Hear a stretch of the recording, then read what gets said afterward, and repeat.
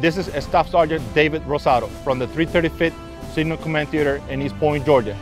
On this Memorial Day, on the Sportsman channel, I would like to dedicate to all my fallen soldiers and friends, especially my good friend Mike Adeni, Staff Sergeant, United States Army, who died fighting for our country in Iraq.